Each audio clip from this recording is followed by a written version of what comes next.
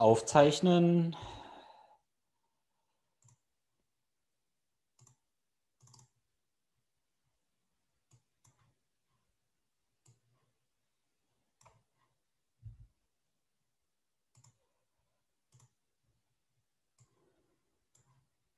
Okay, ich schaue nur noch, ob alle drin sind oder ob im Warteraum noch jemand ist. Dann legen wir gleich los.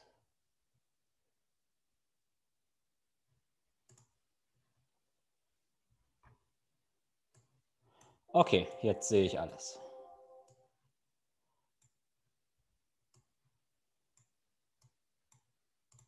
Gut, alles eingestellt. Sehr schön. Ähm,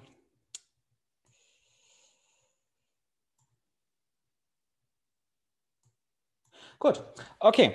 Dann, bevor wir so richtig loslegen, erstmal zwei organisatorische Sachen.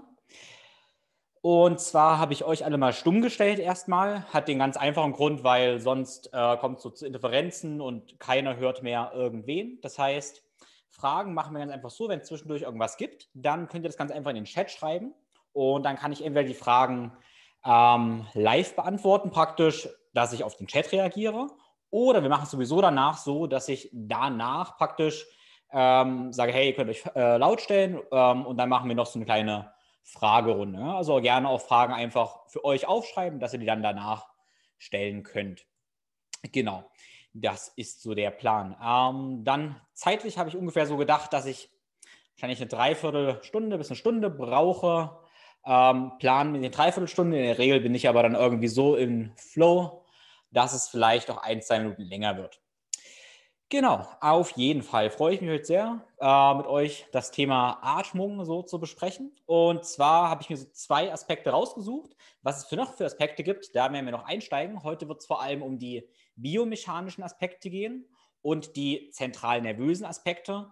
Heißt für uns ganz einfach Biomechanik, okay, wie kann ich Atmung nutzen, um mobiler und stärker zu sein im Training oder auch im Alltag, verletzungsfreier und zentral nervös, wie kann ich mein Nervensystem steuern, also wie kann ich mich beruhigen oder aktivieren, wenn ich das möchte. Diese zwei Sachen diskutieren wir. Andere Perspektiven wären so eine biochemische Perspektive, die auch sehr, sehr spannend ist, oder ähm, die na, biochemisch äh, wir können das Ganze genau aus einer spirituellen Ebene. Das der spirituellen Ebene, da könnten wir das auch sehr weit ausführen, weil in vielen Lehren atmen wir ja der Prana oder Ki oder Chi ein und aus der spirituellen Ebene könnten wir das auch betrachten. Ne? Aber wir machen uns Gedanken jetzt erstmal um die Kraft und um den Stress, weil das, denke ich, auch jetzt ein relativ relevantes Thema ist. Einerseits haben wir jetzt vielleicht, während einer Zeit, wo wir nicht so ja, viel rauskommen oder so, die Zeit, ähm, uns mit der Atmung zu beschäftigen, dass wir unser Training so verbessern können. Andererseits haben wir vielleicht auch die Notwendigkeit, mit der Atmung bewusst mal Stress zu regulieren mal zu sagen, hey, ich kann vielleicht ein bisschen entspannter durch diese, durch diese Zeit gehen. Genau. Ähm, ich habe hier im Hintergrund, seht ihr ähm, dieses kleine Bild, das rechte, das Schema, was ich aufgemalt habe. Und wenn ich noch eins weitergehe, ähm, das ist so ein bisschen, bevor ich was über mich erzähle, das, wie ich eigentlich arbeite, was ich vermittle und was ich erforsche letztendlich auch. Und letztendlich ist mein Ziel irgendwie immer, dass wir alle leistungsfähiger, selbstbestimmter, selbstbewusster, erfüllter und gesund sind, aber das nicht nur aus Mittel zum Zweck. Also klar, das ist wunderbar, aber die Hoffnung ist natürlich dann immer, dass wir alle unsere Träume, Visionen, Ziele irgendwie erreichen können, was auch immer das ist. Also für mich ist es völlig okay, wenn jeder sein eigenes Ding hat, was er verfolgen möchte. Aber ich bin der Meinung, jeder sollte die Kraft und die Gesundheit haben und ähm, ja auch die mentale Power, um seinen Zielen und Visionen zu folgen.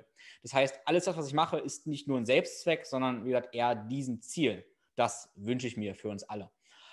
Genau. Und dafür ähm, die Ebenen, auf denen ja, ich ständig arbeite, ist so die Ebene der Bewegung und des Trainings, könnten wir damit reinführen. Dann die Ebene der Be äh, Ernährung, wo aber auch Entgiftung sowas dazu zählt, Entgiftung, Verdauung, aber natürlich auch Trinken. Ähm, dann die Ebene der Regeneration, wo wir auch Atemtechniken eventuell mit einordnen könnten, Schlaf, Entspannungstechniken.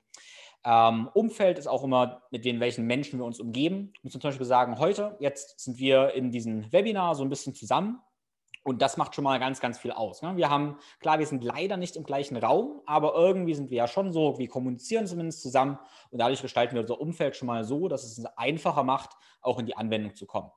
Und dem, ja, nicht untergeordnet, aber nebengeordnet ist immer das Bewusstsein und das Mindset, weil wir das Ganze irgendwie auch mental umsetzen wollen. Genau, und heute sprechen wir vor allem über Atmung und das kratzt natürlich an allen möglichen Bereichen. Ne? Also Atmung ist einmal die Grundlage für Bewegung. Ähm, Atmung hat aber irgendwie auch viel mit Ernährung zu tun, wie wir gleich sehen werden, und natürlich mit Regeneration. Irgendwie natürlich auch Bewusstsein und Mindset. Also Atmung ist eigentlich ja überall mit drin. Genau, dann noch vielleicht drei Worte zu mir. Wer mich nicht kennt, ich denke, die meisten kennen mich, aber ich bin Tim, Tim Böttner. Ich habe mir vor ein paar Jahren mal das äh, Motto Think Flow Grow ausgedacht. Ist eigentlich so entstanden, dass es auch mein Motto war, wie ich an Sachen rangehe. Ähm, ich bin doch ein recht verstandsgeprägter Mensch, deshalb ist meine Basis immer ähm, ja, Information, Wissen. Ähm, erstmal deshalb Think, diese kleine ähm, Welle. Dann ist es für mich aber ganz wichtig, das Ganze jetzt im Fluss zu bringen, also die Erfahrung zu sammeln, im Flow praktisch zu sein. Und daraus entsteht jetzt endlich meiner Meinung nach Wachstum. Deshalb, das ist der, die Idee hinter Think, Flow, Grow. Und im Hintergrund sieht man so ein paar Bilder, was ich mache. Ähm, ich sage nicht so gerne, wer ich jetzt bin, weil ähm, ich möchte mich jetzt nicht identifizieren als den ja, Crossfitter, Gewichtheber, Eisbad oder so. Ich bin einfach Tim, aber ich mache zum Beispiel, ich hebe einfach gerne schwere Gewichte. Das macht mir Spaß. Das habe ich, ähm, genau, das habe ich schon äh, immer gerne gemacht. Also nicht immer, aber seit ungefähr zehn Jahren mag ich einfach schweres Eisen, macht mir einfach Spaß. Ähm, hier oben in der Mitte bin ich in Japan. Das zeigt so ein bisschen, dass ich sehr, sehr gerne reise und da gerne rumturne, gerne Handstände mache vor irgendwelchen Tempeln. Ähm, ja, ich mache recht viel Mobility-Training, äh, wie man hier zum Beispiel sieht. Da mache ich mit anderen ein paar Mobilitätsgrundlagen. Klar, Eisbaden mache ich gerne, das steht exemplarisch, aber auch dafür, dass ich einfach alle möglichen Sachen gerne ausprobiere. Bin gerne in der Natur, umgebe mich gerne mit Menschen und ja, und hier rechts noch ein Bild zu sehen auf dem Trainingscamp mit Pioletics. Und das ist für mich sehr erfüllend, wenn ich jetzt endlich meine Erfahrung, mein Wissen da irgendwie weitertragen kann, Leute inspirieren kann. Dann bin ich auf jeden Fall zufrieden. Genau. Gut, dann lasst uns mal einsteigen mit einem kleinen schönen Zitat, was ich vor einer Weile gelesen habe, ähm, von Jay Shetty aus seinem Buch äh, Think Like a Monk. Und der Jay Shetty war in einem Kloster gewesen und der war, da kam die Frage auf, was das erste war, was die Mönche im Kloster gelernt haben. Ne? Und das erste in dem Kloster war tatsächlich das Atmen. Weil das erste oder das letzte, was wir im Leben machen, ist nun mal das Atmen. Ne? Der ganzen Zeit dazwischen atmen wir. Und das ist schon mal ganz interessant, dass sich offensichtlich in diesem Kloster die Mönche erstmal grundlegend Gedanken um die Atmung machen. Wir machen das aber nie. Ne? Also weder in der Schule, ähm, ja, noch im Erwachsenenalter. Vielleicht sollten wir davon mal ein bisschen was lernen. Weil letztendlich atmen wir etwa 20.000 Mal am Tag. Ne? Wie oft? Das ist ein bisschen individuell, aber ungefähr 20.000 Mal. Und wenn wir jetzt 20.000 Mal wirklich schlecht und dysfunktional atmen, dann sollte eigentlich ziemlich klar sein, dass die Qualität unserer Atmung auch die Qualität unseres Lebens beeinflusst. Ne? Deshalb lasst uns mal Gedanken über die Atmung machen. Und jetzt habe ich schon mal gesagt, wir atmen 20.000 Mal am Tag ungefähr. Ne, vielleicht hat der ein oder andere von euch irgendeinen Tracker. Ich persönlich habe ja so einen Schlaftracker, diesen Aura-Ring hier. Manche andere haben vielleicht irgendwelche Uhren oder Ihr könnt auch jetzt parallel mal eine Minute stellen, eine Minute nebenbei, während ich rede, einfach mal euren Puls fühlen. Ne? Stellt den Wecker auf eine Minute und äh, nicht den Puls, sondern die Atemfrequenz und ihr zählt mal, wie oft ihr atmet. Ne? Also zählt einfach mal nebenbei, irgendwann jetzt. Und letztendlich ist es okay oder wäre es ganz gut, wenn ihr irgendwie bei 15 so rauskommt. Irgendwas zwischen 13 und 15, wenn ihr sehr sportlich seid, wollen wir eher 8 bis 12 anstreben. Ne? Und Normal ist leider wesentlich mehr. Ne? Das wäre das Optimale. 8 bis 12 Sportler super, 15 auch noch gut. Wenn ihr jetzt bei 20 rauskommt oder mehr als 20, dann solltet ihr euch umso mehr Gedanken ähm, ja, um die Atmung machen, weil sonst hat sich vielleicht irgendwann mal ja, ausgeatmet. Gut, ähm, ganz, ganz grundlegend, bevor wir jetzt in die Mechanik reingehen, warum atmen wir eigentlich? Ne? Und da können wir erstmal biomechanisch äh, begründen. Aber bevor wir das machen, erstmal noch so nur als Gedankenanstoß ohne Nahrung. Ne? Ohne Nahrung können wir, ich habe mal irgendwo jetzt gelesen, 60 Tage überleben. Ähm, es gibt auch Leute, die können von Lichtnahrung überleben, die können ewig ohne Nahrung leben oder Da gibt es ganz verschiedene Quellen. Manche andere quengeln schon nach fünf Tagen rum und schaffen es nicht mehr. Ohne Schlaf gibt es Leute, die elf Tage nicht geschlafen haben. Ohne Wasser schaffen manche drei, vier Tage. Aber klar sollte sein, ohne Sauerstoff schaffen wir es nur wenige Minuten. Ne? Warum? Damit wir da alle auf einem Level sind. Warum Sauerstoff so wichtig ist? Ganz einfach biomechanisch. Wir verbrennen Glucose oder Fett mit Sauerstoff, den wir einatmen, zu ATP, also Adenosintriphosphat und atmen Kohlenstoffdioxid ab. Ne? Und das ist einfach ein grundlegender Stoffwechselvorgang. Jede Nahrung oder so, die wir aufnehmen, braucht Sauerstoff, damit wir daraus Energie gewinnen. Ne? Deshalb hat Atmen natürlich auch was mit Sauerstoff zu tun und auch mit Abnehmen zu tun. Ne? Sollte klar sein, wenn wir sagen, wir wollen Fett reduzieren in unserem Körper, dann heißt das primär auch erstmal, wir brauchen Sauerstoff, um Fett zu oxidieren und Kohlenstoffdioxid abzuatmen. Klar. Mit der Einatmung nehmen wir also Sauerstoff aus, mit, auf, mit der Ausatmung geben wir Kohlenstoffdioxid ab. Und ja, in anderen Lehren, kurz schon angesprochen, in Indien oder China, ähm, da reden wir dann ganz viel von Lebensenergie, was man dann Chi, Ki oder Prana nennt oder ganz verschiedene Namen für hat. Was wir uns endlich da vorstellen, was wir ein- und ausatmen, ist gar nicht so wichtig, weil Fakt ist, wir atmen irgendwas ein und aus. Ne? Und ja, wir haben diese vier Perspektiven. Ähm, gerade wenn ich gesagt habe, ähm, dass wir zack, Sauerstoff aufnehmen, Kohlenstoffdioxid abatmen, sind wir auf der biochemischen Ebene. Da redet man dann viel über Sauerstoffsättigung. Und wenn ihr so Sachen wie Wim Hof-Atmung kennt oder was Patrick McKeon erzählt mit ähm, ja, Kohlenstoffdioxid-Level steigern, dann ist das immer eine biochemische Begründung für die Atmung. Ne? Wollen wir heute nicht besprechen, genauso wenig wie die spirituelle Ebene. Wir machen uns gleich um die Bewegung Gedanken von Muskeln und Organen und dann um Sympathikus, Parasympathikus, also Ruhe und Aktivität. Das sind unsere Brillen, die wir uns jetzt nacheinander aufsetzen. In diesem Sinne setzen wir uns mal die erste Brille auf, die des Mechanikers. Habe ich gar nicht gesagt. Ich bin übrigens im ersten Bildungsweg diplomierter Maschinenbauingenieur. Deshalb habe ich, wie gesagt, sechs Jahre äh, ja, technische Mechanik studiert. Äh, diese Brille ist mir also sehr vertraut, auch als Sportwissenschaftler natürlich. Ähm, und da schauen wir da mal rein. Zuerst wollen wir uns mal fragen, durch was wir atmen sollen. Ne? Also klar, wenn wir atmen, atmen wir irgendwo ein. Und das ist in der Regel die Nase oder der Mund. Und die Frage, was da richtig ist, das können wir ganz, ganz schnell beantworten, weil wir können uns ganz einfach merken, der Mund ist zum Essen da, die Nase ist zum Atmen da. Ne? Wenn ihr irgendwas heute mitnehmt, dann ist es das, ihr atmet durch die Nase, esst durch den Mund. Ne? Warum Nasenatmung? Warum ist das so wichtig? Ähm, zum einen haben wir durch die Nase 20 Prozent mehr Sauerstoffaufnahme, ne? weil die Nase ist zum, biologisch auch zum Atmen gemacht. Deshalb ist die so konstruiert, dass wir mehr Sauerstoffaufnahme haben. 10 bis 20 Prozent mehr ist natürlich auch in einem Sportsetting sehr, sehr wichtig zu verstehen. Also wenn wir Ausdauersport machen, wir atmen nicht durch die Nase, dann haben wir weniger Sauerstoffaufnahme, also wenig, äh, weniger Fett- und Glukoseoxidation in den Muskeln unter Umständen. Ja? Außerdem, jetzt ist Winter, es ist kalt, die Nase erwärmt die Luft. Wir haben einen längeren Weg, da sind Nasenhärchen drin, Nasenschleim und diese größere Oberfläche erwärmt die Luft. Die Nasenhaare und der Nasenschleim befeuchtet die Luft und ganz, ganz wichtig, gerade jetzt, wenn wir ja diesen Corona-Zeiten so ein bisschen sprechen, die Nase reinigt die Luft von Keimen und Bakterien. Das heißt, das Infektionsrisiko sinkt, wenn wir durch die Nase atmen, weil wir weniger Keime reinkriegen in die Lunge. Außerdem, ganz interessant jetzt noch für die Sportler oder eigentlich für alle, die Nase reichert die äh, Luft mit Stickstoffmonoxid an. Und Stickstoffmonoxid ist ein ganz, ganz mächtiger Stoff, der letztendlich auch für den Blutdruck sehr, sehr wichtig ist und die Arterien letztendlich weit macht. Ne? Für die Pumper heißt es ganz einfach, Stickstoffmonoxid macht einen besseren Pump beim Training. Ähm, deshalb weitere Indikationen für die Nasenatmung. Außerdem, wie wir nachher noch sehen werden, aktiviert die Nasenatmung eher das parasympathische Nervensystem. Nase ist also korreliert mit dem Ruhezustand, Nase ist, äh, Mund ist korreliert mit dem Stresszustand.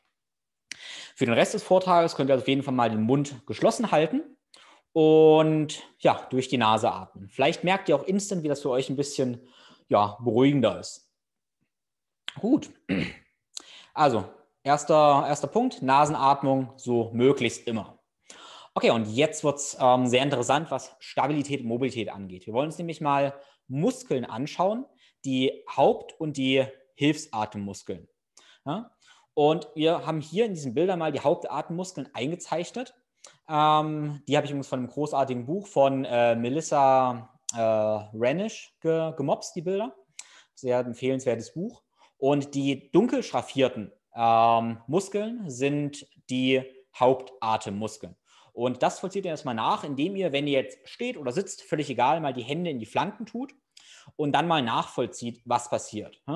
Also oben ist die Einatmung und mit dem Einatmen ähm, ist hier, wenn wir rechts angucken, brauchen wir das Zwerchfell. Mit dem Einatmen senkt sich das Zwerchfell.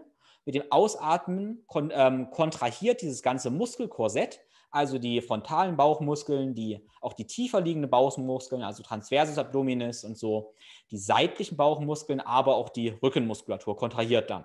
Okay?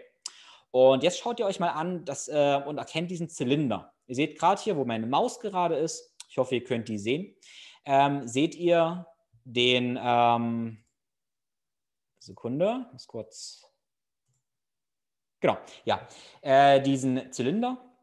Und dieser Zylinder, der, ähm, da seht ihr, dass dieser Zylinder sich um die Wirbelsäule schwingt, klar. Und damit, das nennen wir diesen thorakolumbalen Zylinder. Warum? Thorax und Lumbar heißt einfach der Brustkorb und der Lumbarbereich und der Rückenbereich. Und dieser Zylinder wird aktiviert mit dieser Atmung. Wenn ihr also in den Bauch, in die Flanken atmet, habt ihr dieses Muskelkorsett die ganze Zeit genutzt, habt somit eine stabilisierte Wirbelsäule und habt damit mehr Kraft. Und ja, ich denke, der erste Punkt, mehr Mittelkörperstabilität ist klar. Ähm, Mobilität folgt auch daraus. Äh, warum? Da kommen wir gleich nochmal zurück. Ich gehe erstmal ein Bild weiter, wenn wir äh, zu den Atemhilfsmuskeln. Und das habe ich einfach mal ganz plakativ. Ne? Ich mache hier viel plakativ jetzt, damit es einfacher zu merken ist. Schlechte Atmung genannt, mit den Atemhilfsmuskeln. Und vollzieht mal nach, spürt mal in diese Muskeln rein. Das ist so euer Trapez, mittlerer, unterer und oberer Trapez Nackenmuskeln. Aber auch vorne hier die vordere Brustmuskulatur, äh, Pectoralis minor zum Beispiel. Das sind die Atemhilfsmuskeln. Ne? Und diese natürlich, wenn ihr die Funktion des nachvollzieht, heben die auch den Brustkorb und die Rippen und senken ihn letztendlich wieder. Schieben auch die Schultern nach vorne. Wenn ihr euch jetzt vorstellt, dass ihr eure 20.000 Atemzüge am Tag mit diesen Atemhilfsmuskeln macht und die arbeiten den ganzen Tag, dann ist ziemlich klar, was folgt. Halt, ne? Verspannter Nacken, verspannte Schultern, verspannte Brustmuskulatur und damit enge Gefühl in der Brust und Rückenschmerzen und so weiter und so fort. Und letztendlich ganz, ganz, ganz, ganz viele Nackenschmerzen, die irgendwie so entstehen, haben ihre Ursache in einem falschen Atemmuster, wenn wir die Atemhilfsmuskeln verwenden. Okay? Jetzt denken wir hier bitte nochmal mit und schauen uns in diesem Bild mal die Arme an. Ähm, stellen wir und gehen jetzt zur Mobilität. Ne? Wir stellen uns vor, dass wir die Arme bewegen. Wenn der Mensch jetzt seine Arme nach vorne heben möchte oder ein Gewicht über Kopf drücken möchte und dann plötzlich feststellt, wow, krass, ich bin ganz schön unbeweglich, ich drücke meine Arme nicht über Kopf, dann sehen wir, okay, ja, eigentlich klar, wenn der hier die ganze Zeit seine Nackenmuskulatur zum Atmen benutzt und seine vordere Brust und will dann die Arme über Kopf bringen, ja, dann kann der ja gar nicht mehr atmen. Ne?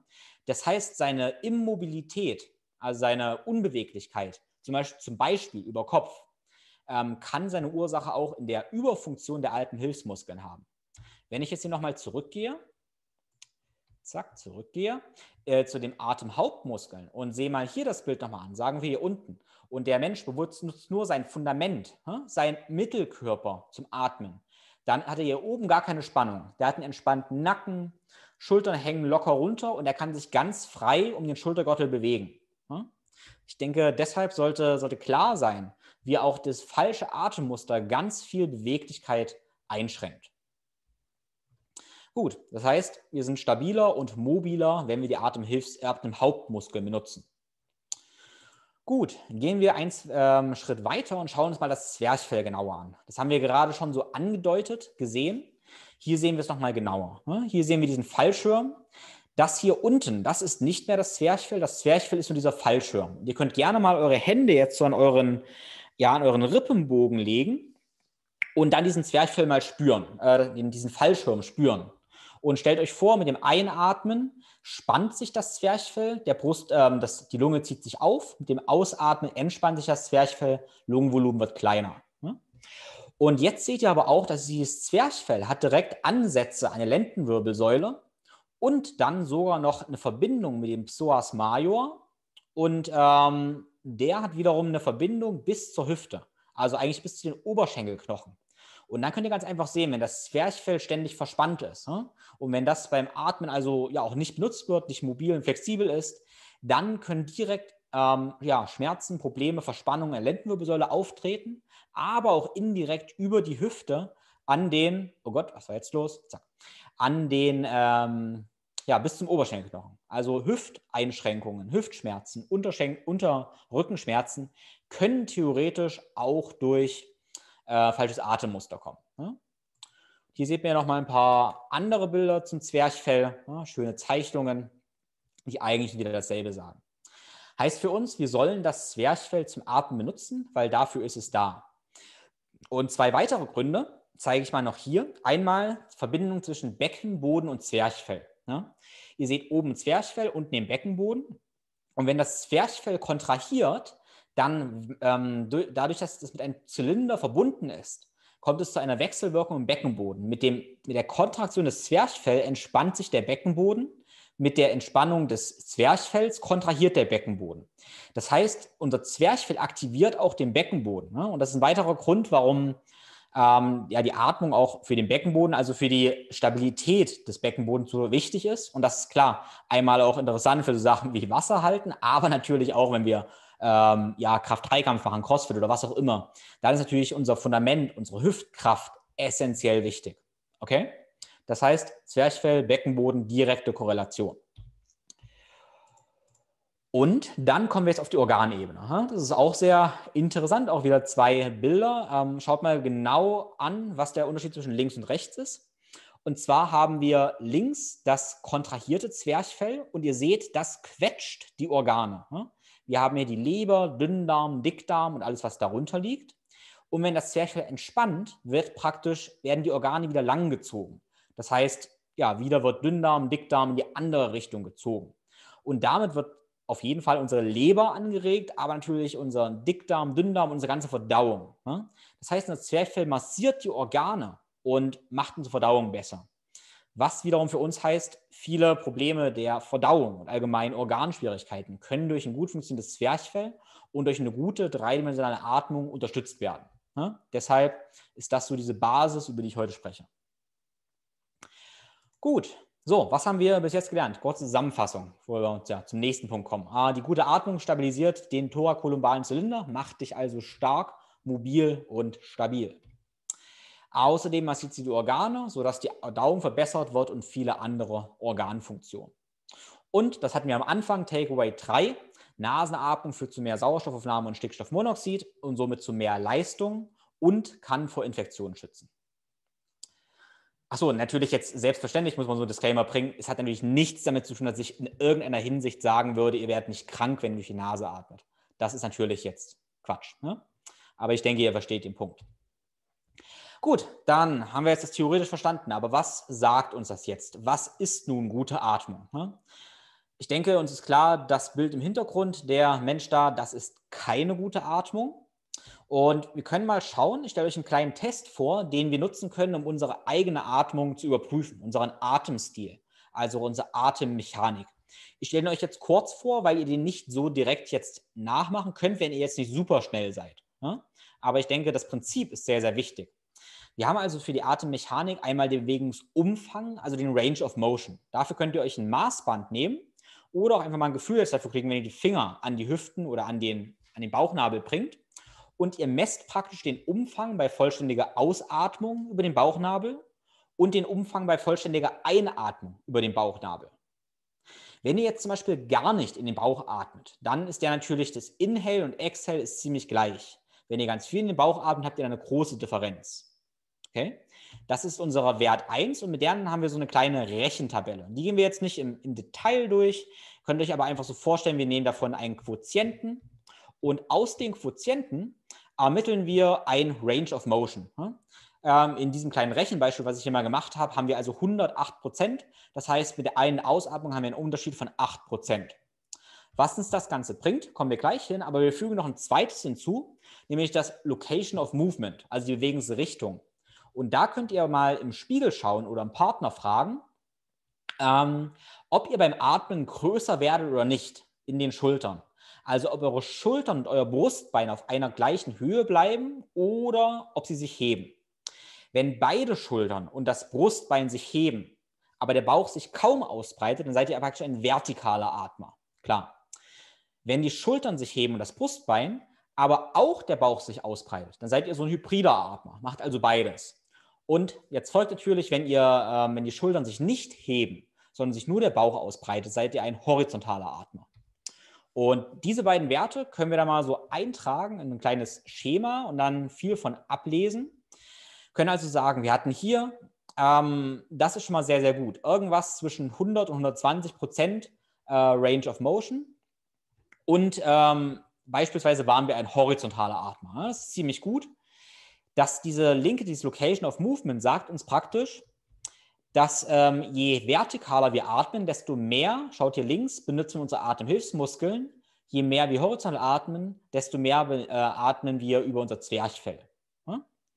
Möglichst wollen wir natürlich irgendwo im Bereich A ankommen. Ja? Ich kann euch dieses Rechenschema gerne mal in der äh, E-Mail danach verlinken. Da könnt ihr mal schauen, okay, wo habt ihr Potenzial? Braucht ihr praktisch auch mehr Brustkorbflexibilität oder was ist so euer, euer Fokus? Ja? Diesen Test zum Beispiel mache ich mit äh, ja, fast jedem Kunden und gibt immer so ein bisschen Aufschluss, okay, lohnt sich jetzt eine Atemmechanik zu atmen oder ist das schon ziemlich gut? Aber die Regel ist, dass es sich auf jeden Fall lohnt, weil sich ganz viele eher im Bereich hier D oder F bewegen. Gut, das wissen wir natürlich immer noch nicht, wie gute Atmung geht. Deshalb kommen wir jetzt mal zu dem Thema. Hm. Gut. Gute Atmung ähm, passiert über das Zwerchfell. Und was wir zuerst machen können, ist unser Zwerchfell mal zu spüren. Ich habe hier dieses kleine äh, Bildchen hingepackt. Und das könnt ihr jetzt direkt mal machen. Sieht ja hoffentlich jetzt keiner. Stellt euch also einfach hin, am besten im Stehen, geht aber auch im Sitzen und ihr packt mal unter eure Rippen drunter, unter den Rippenbogen und schaut mal, wie viel da geht. Ne? Bei mir oder auch auf dem Bild geht so bestimmt 3, 4, 5, 6 Zentimeter. Natürlich nicht, wenn ich rede.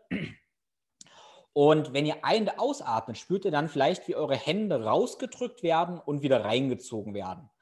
Und wenn ihr das spürt, dann wisst ihr, okay, euer Zwerchfell ist da und euer Zwerchfell macht schon was. Ne? Das ist so der erste, ähm, ja, wie ihr mal Bewusstsein für eure Atmung entwickeln könnt, für euer Zwerchfell. Im nächsten Schritt kommen wir dann zur 3D-Atmung. Auch das Video verlinke ich euch nochmal. Und die 3D-Atmung ist unsere dreidimensionale Atmung. Ne? Dreidimensional heißt hier, wir atmen ähm, ja, in alle Richtungen, vor allem nach vorne und zur Seite. Und dafür starten wir. Ähm, ihr könnt auf dem Rücken liegen, wie ich hier in dem Bild, oder auf dem Stuhl sitzen, dass ihr die Hände mal in die Flanken oder auf den Bauchnabel legt und erstmal für ja, drei, fünf Atemzüge spürt, wie der Bauchnabel sich ausbreitet. Und danach seht ihr, wie meine Flanken sich ausbreiten. Und der erste Schritt, um diese dreidimensionale Atmung zu lernen, ist immer so wenig ähm, Komplexität wie möglich. Und die erreichen wir, indem wir ganz einfach auf dem Rücken liegen. Und ihr seht hier, ich atme auch nochmal in die Hände rein. Und hier kontrolliere ich dann nochmal, okay, atme ich in den Brustkorb oder nur in den Bauch? Ich denke, hier sieht man ganz gut, mein Bauch bewegt sich, Brustkorb bleibt still. Wer dafür mehr Feedback braucht, der darf sich was auf den Bauch legen. Ich will hier zum Beispiel eine Kettlebell, keine Sorge, die ist nicht sehr schwer, das sind nur 12 Kilo. Könnt aber genauso gut auch ein Buch nehmen. Ne? Auch ein Buch könnt ihr auf den Bauch legen, damit ihr ein Feedback habt und dieses Feedback, dieses Gewicht, macht es euch teilweise sogar ein bisschen einfacher, die tiefe Bauchatmung äh, zu spüren. Ne? Hier erschließen wir uns also vor allem den vorderen Atemraum haben natürlich mehr Atemräume. Und dafür können wir in verschiedene Positionen gehen. Wenn ihr jetzt zum Beispiel sitzt oder steht, könnt ihr euch einfach zur Seite lehnen und diese Seitneigung im, ähm, ja, im Stehen machen. Oder ihr geht in diese Faultierposition, wo ihr vor allem, wie ich hier jetzt, in diese rechte Flanke atme. Ja? So, hier mache ich dasselbe nochmal in der sitzenden Position. Ich denke, das Prinzip ist klar. Wir erschließen uns den seitlichen Atemraum und ihr macht das Ganze so lange, hier wieder die Seite, bis ihr spürt, ah, okay, da passiert was. Ich kann wirklich in meine Flanken atmen. Genauso gut sind wir in der Position der Stellung des Kindes in unserem Rücken. Ja, hier atmen wir in den mittleren Rücken und unteren Rücken und erschließen uns den Atemraum. Und folgerichtig atmen wir dann noch in die, in die Front, dass ich hier in dieser Press-Up-Position bin und hier meinen Bauch gestretched habe und in diesen Stretch reinatme. Und diese Folge ist ganz interessant, weil das ist so ein bisschen meine Folge. Hier atme ich jetzt noch in die Rotation. Wenn wir aber zum Beispiel eine Yoga-Routine wie den Sonnenkruß durchgehen, werden wir feststellen, dass auch im Yoga der Sonnenkruß zum Beispiel auch alle Atemräume erschließt. Okay? Ähm, das heißt, das habe nicht ich im Prinzip mir ausgedacht, sondern auch die Yogis mit Yoga ähm, haben das schon, schon gemacht. Ne? Also könnt auch einfach den Sonnenkruß machen oder hier meine Routine wählen. Okay, ich habe gesagt, wir wollen das Ganze zuerst so einfach wie möglich machen. Im nächsten Schritt können wir Komplexität hinzufügen, indem wir zum Beispiel das Ganze mit Gewicht machen. Wir können uns hier ein ähm, ja, Gewicht schnappen. Ich nehme hier eine Kettlebell, die ich vor der Brust halte und mit diesem Gewicht marschieren. Ich probiere hier weiterhin dreidimensional zu atmen. Natürlich ist klar, das Ganze ist schwieriger, weil wir eine externe Last haben. Hier bewege ich sogar die Beine nach oben, dass ich noch marschiere. Und der nächste Schritt, wenn wir merken, okay, das geht, ich kann dreidimensional atmen, ich packe das mit meiner Zwerchfellatmung, Schritt zurück, dann ähm, und kann Gewicht hinzufügen, dann kann ich das Gewicht bewegen. Ne? Das heißt, dann können wir zu unseren Übungen gehen. Sagen wir, machen mit der Kettlebell Überkopfdrücken, Turkish Get-Ups, Rows oder was auch immer. Dann dürfen wir Kraftübungen machen. Wenn wir bei den Kraftübungen mal merken, ah, okay, ich kann nicht mehr meine dreidimensionale Atmung beibehalten, gehen wir wieder einen Schritt zurück. Ne? Ich hoffe, diese Übungsprogression macht ein bisschen Sinn.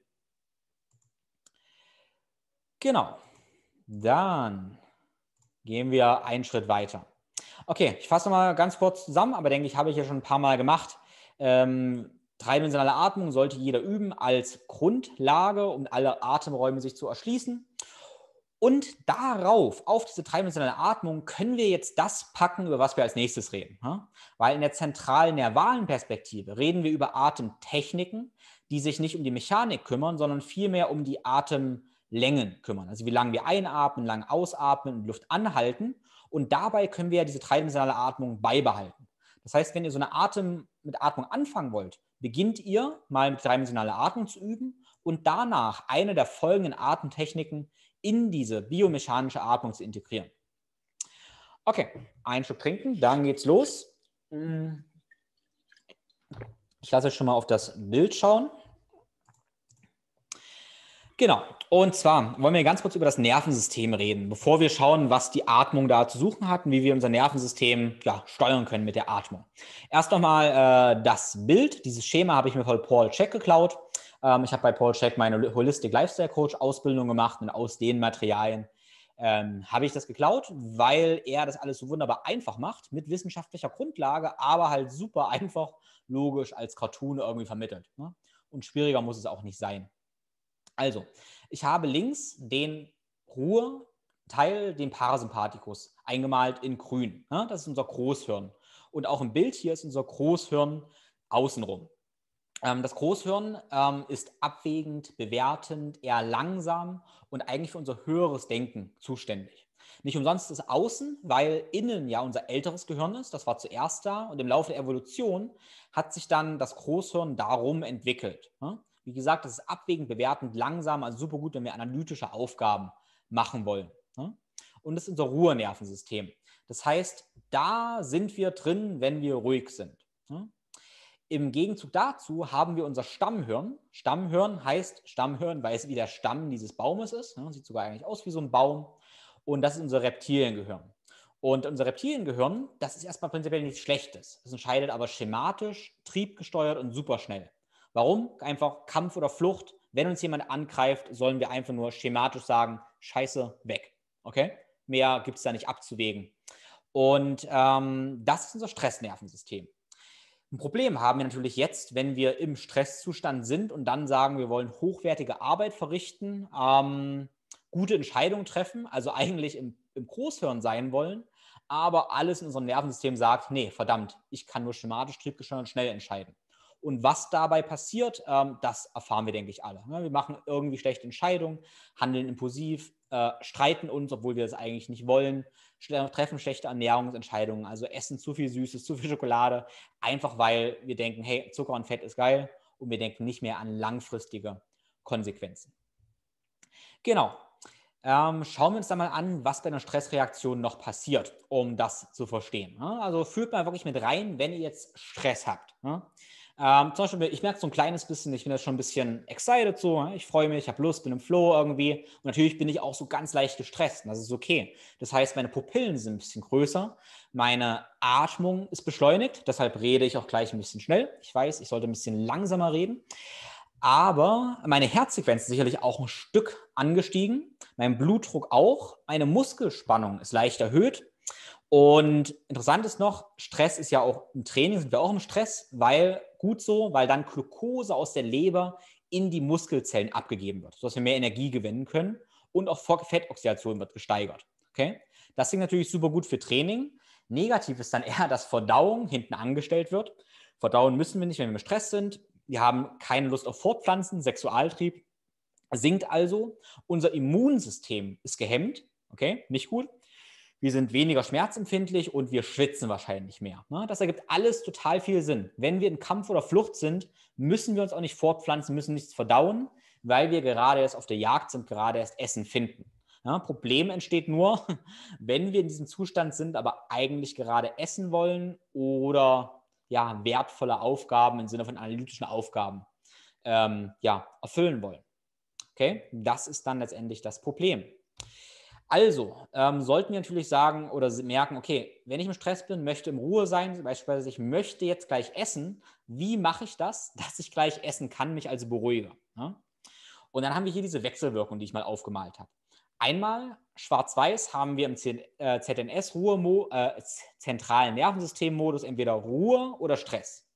Ich habe es gesagt schwarz-weiß, weil das stimmt so natürlich nicht. Wir sind nicht immer vollkommen ruhig oder vollkommen gestresst, wir sind immer irgendwo ein bisschen dazwischen. Aber vereinfacht gesagt, entweder sind wir im Ruhe oder Stress.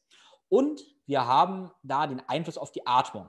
Das heißt, in Ruhe verändert sich unser Atemmuster und in Stress verändert sich unser Atemmuster. Aber jetzt kommt der entscheidende Punkt. Wir können willentlich die Atmung steuern, um hier den Modus zu wechseln. Okay? Das heißt, wir sind dem nicht ausgeliefert. Wenn wir erkennen, unser ZNS-Modus ist nicht da, wo wir hinwollen, dann können wir eine Atemtechnik wählen, um daraufhin unseren zentralen Nervensystem-Modus zu wählen. Und das ist der Punkt, wo ich die letzten fünf Minuten eigentlich drauf hinaus wollte, wie wir das machen. Okay? Weil jetzt wird es gleich praktisch. Und als Eingang können wir uns schon mal merken, unsere Stressatmung ist immer durch den Mund. Okay, ich denke, das haben wir verstanden. In die Brust, flach und schnell. Okay? Und die Ruheatmung dagegen ist durch die Nase, in den Bauch, tief und langsam. Gut, das sind unsere mächtigen Programme. Und die packen wir jetzt mal in unseren Werkzeugkoffer. Deshalb auch dieses Hintergrundbild, das ist ein Werkzeugkoffer, weil ich denke, wir sollten diese Werkzeuge in unserem Werkzeugkoffer haben. Ne? Also, in unserem Werkzeugkoffer packen wir zuerst mal ein unsere parasympathischen Atemtechniken. Und die charakterisieren sich alle durch eine verringerte Atemfrequenz. Das heißt, wir gehen weniger als was Normales. Also wenn wir normalerweise 15 Mal atmen pro Minute, gehen wir auf 3, 4, 5, 6 Mal runter. Eine verlängerte Ausatmung, Nasenatmung und tiefe Bauchatmung. Okay? Warum verlängerte Ausatmung? Wir können das merken, messen.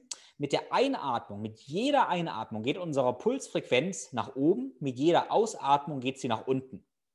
Wenn wir also das Ganze integrieren würden, dann würden wir im Mittel eine verringerte Atemfrequenz feststellen, äh, Entschuldigung, eine ähm, doch natürlich eine verringerte Atemfrequenz feststellen, wenn wir die Ausatmung verlängern. Das heißt, verlängerte Ausatmung, Nasenatmung, Bauchatmung. Und was wir jetzt durchgehen wollen, sind diese vier Atemtechniken. Und damit legen wir jetzt direkt mal los. Also, wir haben zuerst die fokussierte verlängerte Ausatmung. Das ist das offensichtlichste und einfachste. Das heißt, wir atmen einfach länger aus als ein. Und ich lade euch jetzt in diesem Moment dazu ein, das mal live mitzuprobieren. Checkt kurz, wie fühlt ihr euch? Seid ihr gerade ja, ein bisschen gestresst, erregt, Pupillen weit, Pupillen eng, was auch immer. Und jetzt geht ihr mal zusammen mit mir in diese fokussierte, verlängerte Ausatmung. Das heißt für uns, wir gehen eine Zählzeit ein und zwei Zählzeiten aus. Kann also sein, drei Sekunden ein, sechs Sekunden aus. Wenn das für euch super möglich ist, dann könnt ihr auch vier Sekunden ein, acht Sekunden aus. Wenn ihr schon so eine Atemnot dabei kriegt, dann reduziert ihr das auf zwei Sekunden ein, vier Sekunden aus. Okay? Damit fokussieren wir die Ausatmung. Wir atmen selbstverständlich durch die Nase und haben schon das einfachste Mittel, uns ein bisschen zu beruhigen. Ne? Fokussierte Ausatmung heißt dazu noch, dass wir so einen gleichen, kleinen Atemwiderstand machen. Ihr könnt also mal probieren, dass ihr so einen Kehlkopfverschluss macht und so, so einen kleinen Atemwiderstand beim Ausatmen hinzufügt. Durch diesen Atemwiderstand verlängert ihr die Ausatmung noch ein bisschen mehr und baut so einen ganz angenehmen Druck auf. Also doppelt lange Ausatmung, einfachstes Werkzeug. Kommen wir aber nun zu ein paar ja, noch schöneren Werkzeugen und zwar erstmal hier zu meinem Lieblingswerkzeug. Das ist meine Lieblingsberuhigende Atmung, aber ich weiß von ganz vielen anderen, sie finden die nicht so angenehm. Probiert es also einfach aus. Die sogenannte 478-Atmung nach Dr. Andrew Weil. Ähm, ja, Dr. Andrew Weil, den seht ihr hier im Hintergrund mit dem weißen Rauschebart, ist ein ja, Heilpraktiker. Und in dieser Atemtechnik atmen wir vier Sekunden ein, halten die Atemfülle für sieben Sekunden und atmen für acht Sekunden aus. Am besten mit so einem leichten Widerstand. Es kann jetzt sein, dass diese sieben Sekunden Luftanhalten schon ganz schön hart sind und ihr dadurch Stress verspürt. Dann könnt ihr auch eine aus der 4-7-8-Atmung, Achtung, aber jetzt nicht Dr. Weil sagen, eine 3, 5, 6 Atmung machen. Ne? Auch das könnt ihr machen und dann nach drei, vier Atemzyklen auf 4, 7, 8 hochgehen. Das ist sowieso ein Tipp, wenn ihr merkt, okay, ihr braucht jetzt mal eine Minute, um runterzukommen, startet ihr mit 3, 5, 6 und geht dann nach ein, zwei Minuten erst auf 4, 7, 8. Und durch diese Atemfülle baut sich so ein angenehmer Druck, so eine schöne Leere im Kopf auf, die dann wie sich so ein Ventil entlässt und damit doppelt entspannend wirkt. Für mich eine der besten Atemtechniken, um vor dem Schlafen, um runterzukommen. Im Idealfall auf der Akupressurmatte liegen, schön dabei runterkommen oder auch kurz im Tagesverlauf sich hinsetzen und ja, neu auftanken oder hinlegen am besten. Gut, 4, 7, 8 Atmung. Dann die Atemtechniken, At, äh, liebste Atemtechnik von ganz, ganz vielen ist das sogenannte Box Breathing. Box Breathing wird zum Beispiel so den Navy SEALs unterrichtet, ähm, damit sie in Extremsituationen konzentriert und fokussiert bleiben können. Und das heißt Box Breathing, weil alle Seiten dieser Box gleich lang sind. Das heißt, wir atmen gleich lang ein, halten die Atemfülle ja, gleich lang, Atem aus, gleich und Atemlehre gleich. Ja? Heißt zum Beispiel drei ein, drei anhalten, drei aus, drei anhalten oder auch 4, 4, 4, 4, 5, 5, 5, 5 oder 6, 6, 6, 6. Ja? Klar. Wenn wir 4, 4, 4, 4 atmen, haben wir zum Beispiel nicht mal vier Atemzüge pro Minute. Ja? Damit ist klar, wie schnell wir uns damit beruhigen können. Und für die Box Breathing ähm, gibt es auch ganz, ganz viele Apps. Ne? Wer sowas möchte, äh, das nicht selber mitzählen will, der kann sich eine App runterladen. Ich habe zum Beispiel auch eine App, die, wo ich die Atemzeiten selber eingeben kann, wo ich also meine eigenen Atemtechniken programmieren kann. Ne? Und das zum Beispiel, da muss man sich gar nicht mit hinlegen, wenn man das ein paar Mal geübt hat. Ihr könnt auch einfach sagen, okay, ich habe die erste Aufgabe beendet, bin gerade auf dem Geh, äh, beim Gehen, ich laufe noch fünf Minuten und ihr nutzt diese fünf Minuten, um dieses Box Breathing zu machen. Und ihr werdet merken, wie ihr sofort in einem anderen Zustand switcht und für die neue Aufgabe viel fokussierter seid. Mein Tipp ist auch immer, wenn ihr jetzt neue Menschen trefft, nicht mit neue, aber andere Menschen, die ihr heute noch nicht getroffen habt. Beispielsweise, ihr kommt zu eurer Partnerin nach Hause, wartet kurz vor der Tür, nehmt für eine Minute oder einfach drei Atemzyklen und ihr werdet merken, wie ganz viel abfällt und wie ihr dann besser handeln könnt. Gut, das war das Box Breathing. Wir kommen nun als letzte Atemtechnik hier zu dem parasympathischen mal zur Wechselatmung. Die ist eine sehr ausgleichende Atmung und die kommt aus dem, ähm, das hier? Ja, genau, die kommt aus dem ähm, Pranayama, aus dem Yoga. Und hier atmet ihr durch ein Nasenloch ein, haltet die Luft an, durch das andere aus und atmet dann wieder durch das Ein und Aus. Warum ich die hier eingeführt habe, nochmal die Atemtechnik angeführt habe, ist, weil wir links und rechtes Nasenloch wechseln. Und dadurch ähm, haben wir unterschiedliche Aktivierungen der Gehirnhälften. Wenn wir durch das rechte Nasenloch einatmen, haben wir eine Verwirbelung hier oben und wir aktivieren die linke Gehirnhälfte. Wenn wir durch das linke Nasenloch einatmen, haben wir eine Verwirbelung und ähm, aktivieren das, die rechte Gehirnhälfte. Und unsere Gehirnhälften haben ja, wieder plakativ gesagt, ähm, auch unterschiedliche Aufgaben. Man könnte jetzt leicht spirituell sagen, wir vereinen so Gefühl und Verstand.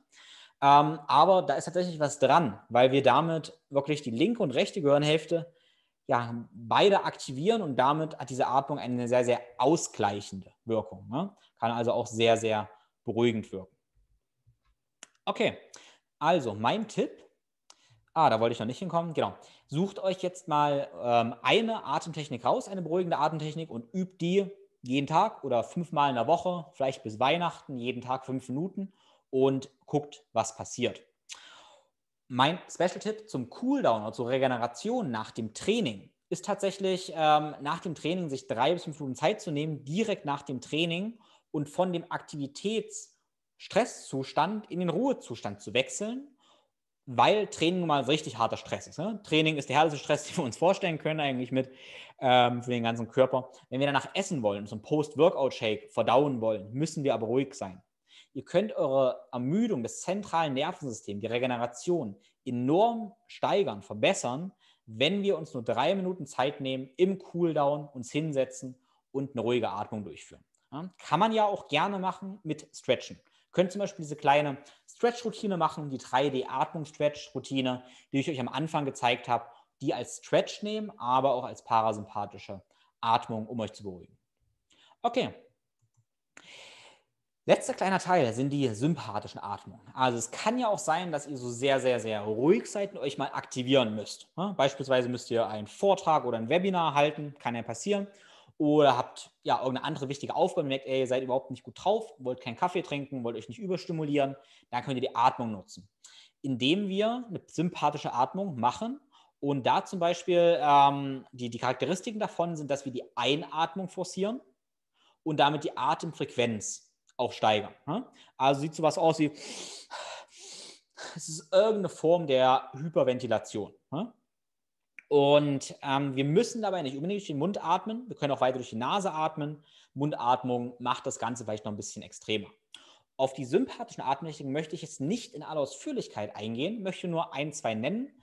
Einmal das holotrope Atmen. Holotropes Atmen ist eine sehr, sehr ja, extreme Atemtechnik, weil da auch ganz verrückte Sachen mit, den, ähm, ja, mit der Biochemie passieren und man sehr, sehr halluzinogene Zustände erreichen kann. Ja, also auf jeden Fall nur in Begleitung machen.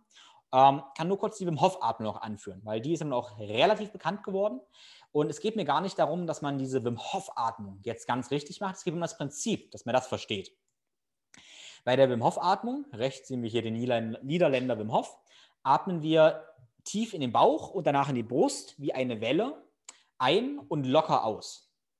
Ähm, der Fokus liegt darauf, dass wir vollständig ein und nur locker ausatmen. Wir atmen also mehr ein als aus. Beispielsweise 100% ein und lassen uns 50% ausatmen.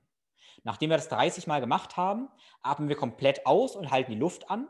Das ist dann eher so ein parasympathischer Teil durch das Luftanhalten ähm, und machen das dann auch für drei Runden. Okay? Während dieser Atemzüge wird man merken, wie wow, die Pupillen werden aufgerissen, man wird total aktiv, man will sich bewegen und ja, da spürt man, was eine sympathische Atmung macht. Wer die Wim Hof Atmung mal ausprobieren möchte, den empfehle ich einfach bei YouTube mal Wim Hof Breathing zu googeln ähm, oder zu YouTube, wie auch immer man das nennt, und da sich von Wim Hof mal im Liegen, im Liegen anleiten zu lassen. Ja? Das Takeaway hier für den Alltag ist es aber vielmehr, dass wir so eine Art Wim Hof Atmung, so diese, dieses schnelle Atmen nutzen können, um uns zu aktivieren.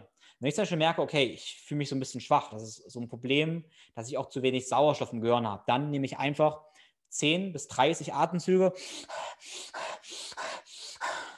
und mit einmal, das merke ich jetzt sofort, schießt alles im Kopf und man ist wieder on fire und bereit. Das ist wie so ein kleiner Espresso ohne Espresso. Das sollten wir also im Werkzeugkoffer haben. Gut, also, nochmal Takeaways für unser Nervensystem in den Baukasten. Sucht euch, ähm, übt ein paar parasympathische Atemtechniken, da wir uns damit beruhigen können, wie Box Breathing, 478 Breathing oder die fokussierte Ausatmung. Und ihr solltet eine sympathische Atemtechnik im äh, Petto haben, wie die Wim Hof Atmung. Ha? Gut, damit fasse ich nochmal die, die wichtigsten Punkte, die wir jetzt in den letzten drei Stunden haben, ganz kurz zusammen. Wenn ihr sonst gar nichts gemerkt habt, dann merkt euch wenigstens, atmet durch die Nase. Im Training auch so lang wie möglich. Ja, so lang wie möglich, auch beim Joggen. Falls ihr morgen joggen geht, versucht mal so lang wie möglich durch die Nase zu atmen. Benutzt euer Zwerchfell und eure Atemhilfs-, Atemhauptmuskeln natürlich. Und dann, letzten Punkt, da habe ich gerade gesagt, parasympathische Atemtechnik, um dich zu beruhigen, sympathisch, um dich zu aktivieren. Aber der letzte Punkt ist nochmal wichtig. Ähm, erkenne deinen Atemstil, ähm, damit du merkst, wie dein Nervensystem gepolt ist. Weil ich hatte ja gesagt, wenn wir merken, wie wir atmen, spüren wir auch, okay, ich, ähm, ich bin gerade so drauf. Ne? Also wir können das ja aus beiden Richtungen angehen. Wenn ihr merkt, oh, ich hyperventiliere gerade nur in die Brust, dann merkt ihr, ich bin sympathisch, ich möchte eher dorthin gehen. Also nutzt das Ganze als Sensor. Und das war der letzte Gedanke hier, den ich euch erstmal mitgeben wollte. Und damit sind wir erstmal bis hierhin angekommen. Und ich habe das Bild nochmal genommen, damit ihr vielleicht das Ganze nochmal einordnen könnt, ähm, auf welche, ja, wo die Atmung überall reinspielt. Ne? Wir können es damit also besser bewegen, sind mit der Atmung aber auch besser bei der Ernährung, besser bei der Verdauung, werden uns bewusster, wenn wir diesen Sensor haben, sind klarer, dass unser Mindset besser wird, wir können uns besser regenerieren und in unserem Umfeld können wir besser agieren. Das heißt, die Atmung ist wirklich die Grundlage für alles, damit wir gesund, leistungsfähig, selbstbestimmt, selbstbewusst und erfüllt sind. genau. Gut. Okay, dann habe ich mich beeilt bis hierhin. Ihr merkt, ich könnte noch Stunden weiter erzählen. Ich habe gleich noch was zu erzählen, aber bevor ich noch was erzähle, erstmal die Frage, ob bis hierhin noch Fragen kommen. Könnt ihr sehr gerne in den Chat schreiben oder ich kann euch auch laut stellen. Wenn ihr die laut stellen wollt, Wenn ihr erstmal bis jetzt keine Fragen habt und die Fragen auftauchen ja, in ja, der nächsten Zeit, nächsten halben Stunde, dann schreibt ihr mir die Frage einfach via E-Mail oder so und ich beantworte die Frage dann euch so direkt. Genau. Ich habe eine Frage. Ja, sehr schön danach.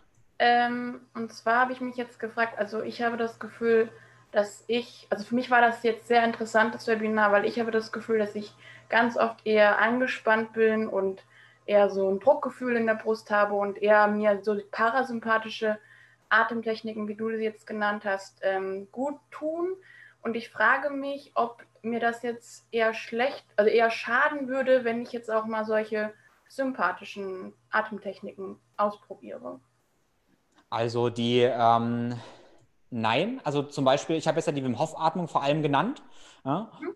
Die Wim Hof-Atmung zum Beispiel ist eine Atemtechnik, wo wir einerseits, also wir wandeln da zwischen zwei Extremen. Wir haben einmal diese extreme Hyperventilation für 30 Atemzyklen. Dann hatte ich kurz angesprochen, dass wir dann aber die Ausatmen-Atmung halten mhm. und Leere genießen. Und dabei wirst du merken, wie dein Nervensystem von diesem Peak extrem entspannt. Und nach drei Atemzyklen wirst du feststellen, wie du total entspannt wirst und ganz, ganz viel loslässt. Was die Hof-Atmung also macht, ist nicht, dich in einen Zustand nur reinzuschießen, sondern ja. wir handeln zwischen den Extremen. Du setzt einen extremen Reiz und kannst dann extremer entspannen. Deshalb würde ich die Hof-Atmung prinzipiell gar nicht unbedingt kategorisieren als die aktivierendste Atmung, weil man danach erstmal wahrscheinlich super ruhig wird. Okay. Okay? Danke. Ja, du kannst dich auf jeden Fall, aber wenn du sagst Enge im Brustkorb, auch auf diese 3D-Atmung fokussieren. Also probier die 3D-Atmung mhm. und dabei dann ähm, ja, die beruhigenden Atemtechniken. Ja, danke schön. Ja, ähm, Genau, also Mara hat geschrieben, sie kann ihr Zwerchfell nicht finden und spüren ähm, ob sie etwas falsch macht. Also das ist relativ normal, dass man das erstmal nicht spürt. Es kann natürlich sein, äh, wenn ich das jetzt hier probiere und ich stehe, habe ich viel zu viel Spannung. Am einfachsten geht es, wenn man sich vielleicht sogar hinhockt ähm, oder hinlegt und die Bauchwand, die Bauchmuskulatur ganz entspannt ist, weil die Bauchmuskulatur über dem Zwerchfell noch drüber liegt und wenn die Bauchmuskulatur angespannt ist, dann kommt man da gar nicht rein. Zusätzlich, wenn die Bauchmuskulatur ständig hyperton ist, und das kann sein, wenn man auch allgemein viele Crunches und sowas macht, und allgemein eine sehr, sehr große Spannung hat, dann komme ich gar nicht an das Zwerchfell. Ne? Das ist völlig normal. Was dann aber hilft, ist zum Beispiel diese Atmung, wo ich mir eine Kettlebell oder ein Buch auf den Bauch lege ähm, und einfach da probiere, die Kettlebell rauszudrücken und reinzudrücken. Und mit der Zeit wird man immer mehr die Reihen fallen lassen können und dabei besser entspannen. Genau, und ähm, die, das Schmerzen entstehen, wenn man unter die Rippen greift. Ähm, ja, da ein bisschen vorsichtig sein. Das kann ganz, ganz, ganz viel sein. Das kann natürlich ein muskuläres Ding sein. Es kann aber auch sein, dass, wenn rechts zum Beispiel ähm, ist die Leber, wenn die Leber Probleme hat, dann kann es auch sein, dass da Schmerzen entstehen. Links ist der Magen, man drückt auf den Magen drauf. Auch da kann es sein, dass es der sehr unangenehm ist. Also da ein bisschen vorsichtig sein. Genau. Äh, und Petra hat geschrieben, wie sich ein niedriger Noradrenalinspiegel erhöhen lässt. Ähm, da ist natürlich immer die Frage, ob wir Noradrenalin ähm, akut oder jetzt chronisch erhöhen wollen. Jetzt chronisch ja was anderes, aber akut, ganz klar, können wir Noradrenalinspiegel mit einem akuten Stressor erhöhen, beispielsweise mit der Wim Hof Atmung. Also da gibt es viele Studien und Werte, ähm, Studien und Messungen, wie man Noradrenalin extrem steigern kann mit so einer sympathischen Atemtechnik. Merkt man ja sofort, weil Noradrenalin ist ja sehr, sehr aktivierend und ja, wenn wir mal hyperventilieren, merken wir das direkt. Ne? Übrigens, ich rede ja immer so gerne über Eisbaden. Eisbaden ist, ähm, auch da wird Noradrenalin extrem gesteigert. Also kalte Dusche am Morgen und vielleicht eine Runde aktivierende Atmung, wahrscheinlich das Beste, um Noradrenalin zu erhöhen. Genau, und ähm, dann fragt Petra, wie man chronisch Noradrenalin erhöhen kann.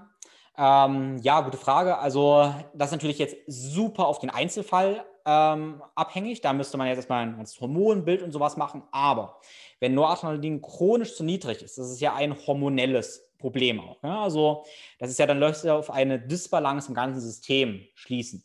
Das heißt, ähm, wenn wir damit unser Nervensystem allgemein regulieren, unser Nervenzustand, Systemzustand also regulieren, in der Regel sind wir ja dann vermutlich, vermute ich einfach mal, sind die meisten von uns eher zu gestresst. Das heißt, wir profitieren in der Regel meistens von entspannenderen Atemtechniken. Und entspannendere Atemtechniken und Meditation, guter Schlaf und sowas führt zu einer Regulation unseres Nervensystems, zu einer Ausbalancierung und damit wird auch Noradrenalin erhöht werden können. Ne? Weil, wenn jemand zum Beispiel zu niedrige Noradrenalinspiegel hat, kann das auch sein, dass für eine Zeit lang zu viel Noradrenalin ausgeschüttet wurde, weil wir extrem unter Stress waren. Irgendwann erschöpfen aber die Nebennieren und es kann kein Noradrenalin mehr produziert werden. Und diese chronische Erschöpfung müssen wir entgegenwirken. Ne? es ist dann oft eine schlechte Idee, das akut wieder zu erhöhen, weil man damit das Ganze noch vielleicht schlimmer macht. Aber wie gesagt, hier chronische, ähm, ja, solche chronischen Probleme kann man hier jetzt keine allgemeine Aussage treffen, aber ich hoffe, das ergibt Sinn. Ähm, ja, Tim, ich hätte auch noch eine Frage. Ich weiß nicht, ob man mich hört. Ich höre dich, ja. Ja, super. Und zwar, also ich habe jetzt äh, gemerkt, dass ich definitiv schneller atme und wenn ich dann versuche, langsamer zu atmen oder gerade auch mal den Atem zu halten, dass mir das natürlich sehr schwer fällt, weil ich so nicht gewohnt bin. Wenn ich das übe, kann ich das dann irgendwie mehrmals am Tag nur für ein paar Minuten üben? Sollte ich versuchen, das jetzt von heute auf morgen den ganzen Tag zu üben oder kann ich mich da ja zu sehr stressen? Ja, also zwei ähm, Sachen würde ich machen. Einmal kannst du dir ähm, sagen, okay, du übst es am Morgen, am Abend für drei Minuten oder so in einem, in einem liegenden Setting. Ähm, und dann, ich habe jetzt eine Atemtechnik habe ich nicht vorgestellt. Ähm, und das ist praktisch ähm, ja, von dem Patrick McKeon, das kann ich dann gerne nochmal verlinken.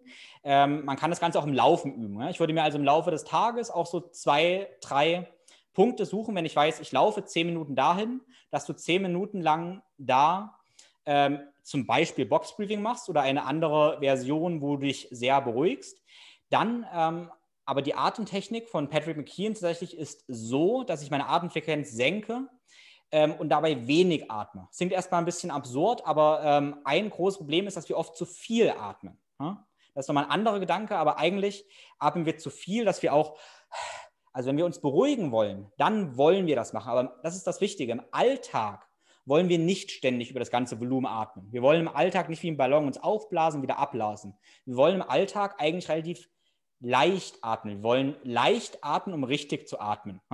Das heißt eigentlich, ähm, dass wir so wenig wie möglich mehr oder weniger atmen durch die Nase und in den Bauch, aber so wenig wie möglich, damit unser Körper auch effizient wird, den Sauerstoff zu nutzen. Diese Übung nennt auf Englisch dann Breathe Light to Breathe Right. Und da geht es zum Beispiel darum, beim Laufen ähm, auszuatmen, die Ausatmung beispielsweise für sieben, acht Schritte zu halten. Und sobald man merkt, ich muss wieder atmen, atme ich ein bisschen ein und wieder aus. Fünf, sechs, sieben Schritte, bisschen ein und wieder aus. Niemals, aber so lange, dass ich danach hyperventiliere, sondern ich atme nur so weit wieder ein ähm, oder ich halte nur so lange Luft an, wie ich ganz entspannt wieder atmen kann. Ziel ist also, die, Atem, ähm, die Atemfrequenz auf Minimum zu senken, ohne dass es zu einem richtigen Training wird. Genau, und das kann ich gerne nochmal anhängen, diese Atemtechnik. Da habe ich auch ein Handout mal zugemacht. Ähm, Und das ist sehr, äh, eine der wertvollsten Sachen, um die Atemfrequenz zu reduzieren. Und das lässt sich ganz einfach, super einfach in den Alltag äh, einbringen. Wie gesagt, beim 10 Minuten spazieren gehen mit einem Hund oder was auch immer, kann man das einfach machen und es wirkt tatsächlich auch sehr, sehr beruhigend. Genau. Super, herzlichen Dank. Gerne.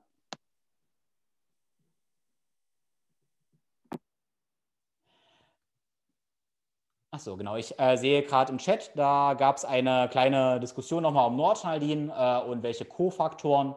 Ähm, genau, das kann natürlich sein, das stimmt, aber da möchte ich jetzt nichts großartig zu sagen, ähm, außer vielleicht der Hinweis, den auch äh, Anke bringt, dass, ähm, genau, dass man da zu einem Arzt gehen soll. Genau.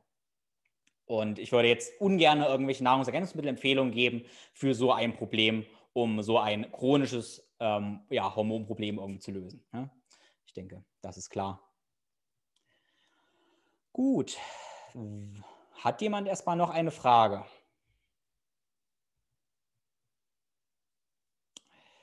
Gut, dann gehe ich nochmal einen kleinen Schritt weiter, weil eine Sache habe ich noch.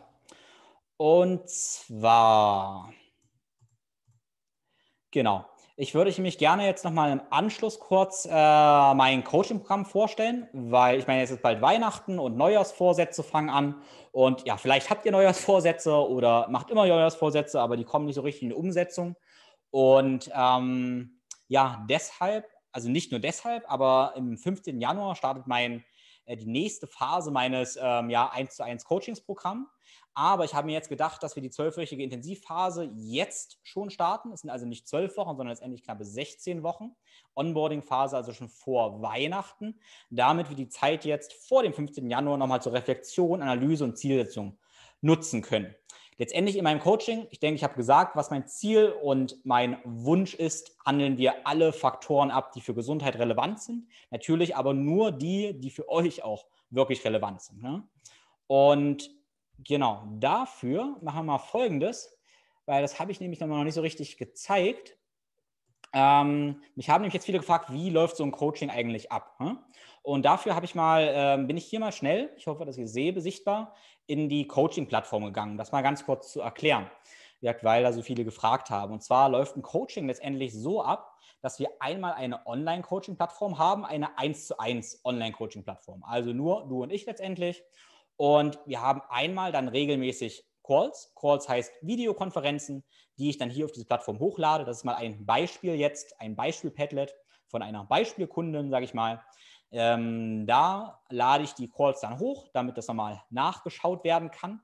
Und klar, ich arbeite immer so, dass wir immer starten mit Tests und Assessments. Das können zum Beispiel anfangen Einstiegsfragebögen sein. Aber wir haben auch sowas wie ähm, ja, Darmfragebögen, Hormonfragebögen, je nachdem, was halt gerade ansteht, was Probleme gibt, ne?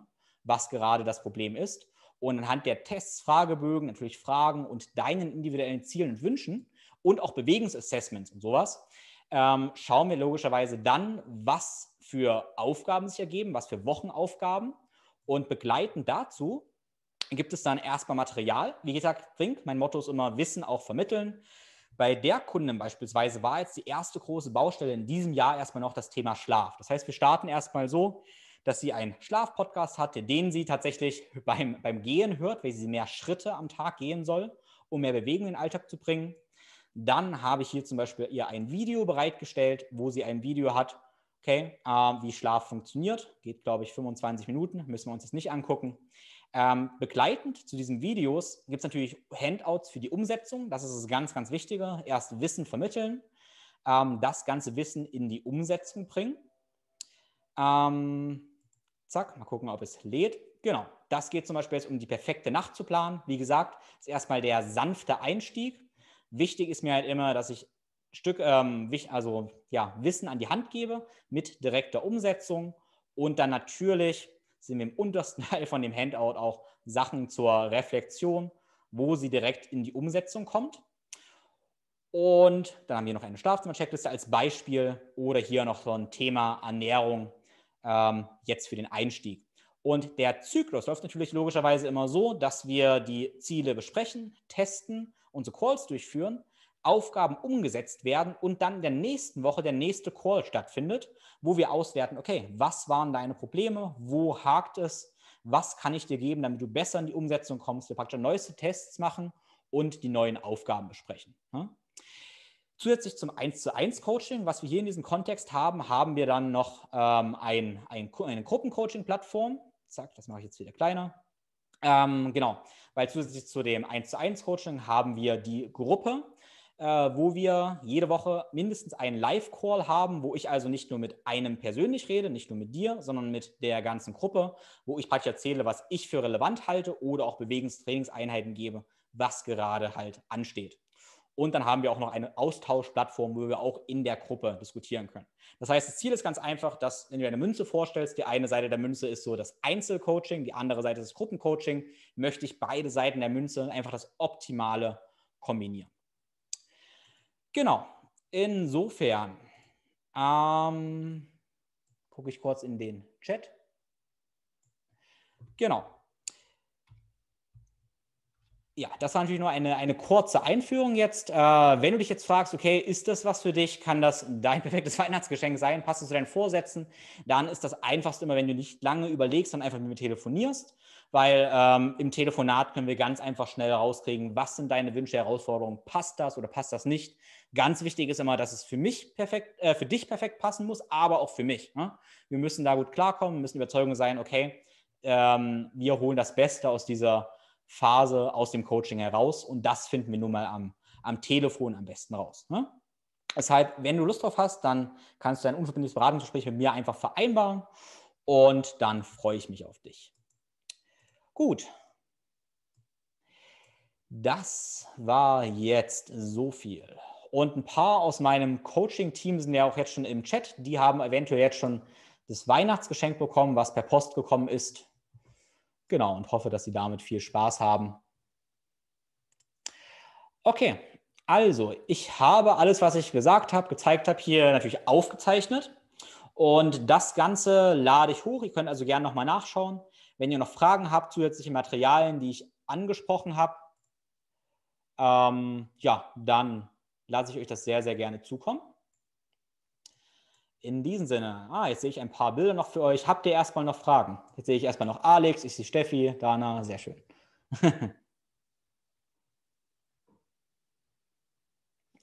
Gut, dann würde ich das langsam beenden. Wünsche euch einen wunderschönen Abend. Ähm, ich setze jetzt gleich meine Blaulichtblockerbrille auf und nachher atme ich noch eine Runde, um dann besser zu schlafen.